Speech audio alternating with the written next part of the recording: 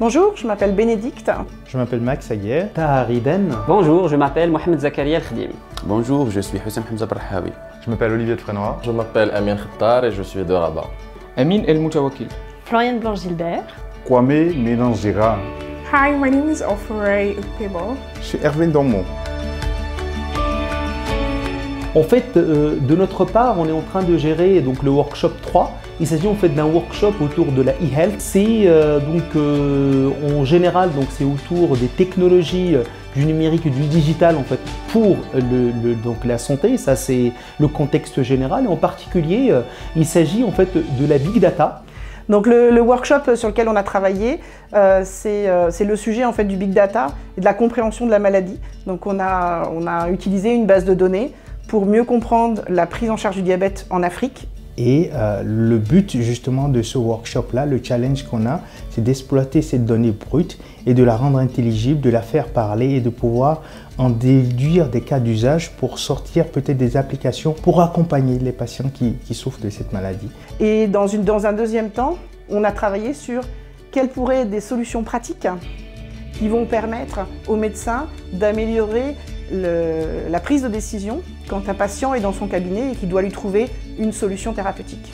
Donc, et nous, ce qu'on a, fait, c'est qu'on a mis en place, euh, grâce à l'avancée technologique de, des modèles machine learning et d'intelligence artificielle, donc nous avons mis en place un, moteur d'intelligence artificielle qui va permettre de faire des recommandations aux patients et ainsi qu'aux, médecins pour faciliter la prise de décision lors des prescriptions, de faire une évaluation profonde et exacte et précise, et en plus de ça, de, rester en contact avec le patient même après la visite du médecin. Alors, le workshop Ecopen adresse la problématique de l'UX, l'expérience utilisateur, et de l'interaction entre les médecins et la partie application mobile de la sonde d'échographie Ecopen qu'on est en train de, développer dans le concept de ce qu'on appelle nous l'écostétoscopie. Alors la solution qu'on a choisie, c'est de faire venir euh, des développeurs, des designers de plein de pays, euh, en l'occurrence d'Afrique mais aussi euh, de France, pour tous ensemble essayer de craquer l'ensemble des problématiques d'interface. Dans notre atelier, on travaille exclusivement sur une application mobile qui a pour objectif de permettre aux médecins, par exemple, de visualiser l'imagerie faite à, travers, euh, à travers la sonde, la petite sonde.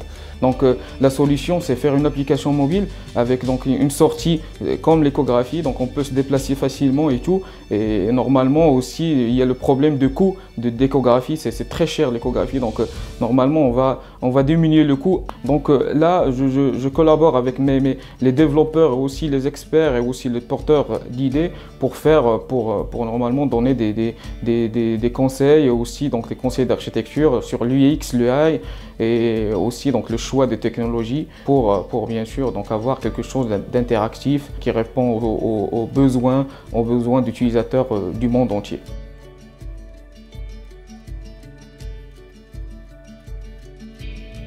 Alors le workshop avait plusieurs mots-clés. Drépanocytose, e-health, training et education. Alors, on a resserré la question jusqu'à la prévention des crises euh, chez la personne drépanocytaire. On a resserré le public sur les adolescents pour l'heure. Ben, on a choisi une application mobile et web qui, qui sera interactive pour permettre au patient de d'abord connaître sa pathologie. Euh, on a choisi une approche de jeu vidéo pour s'adresser directement aux enfants atteints de drépanocytose pour qu'ils apprennent à prendre soin d'eux-mêmes. Uh, we're using an, a mobile application that has um, gamification to work with the adolescents going through this crisis and in order to empower them to make the decisions um, with the relevant information. Et le but, c'est de pouvoir justement connaître ces, ces facteurs, euh, euh, facteurs favorisant les crises pour pouvoir les éviter et donc améliorer son confort de vie, espacer le mieux que possible les, les crises, voire les, les, éliminer. Equipping them with the information, the tool, uh, with a chat forum, with a, um, a game icon that um, has this disease and is living healthily with the, the disease.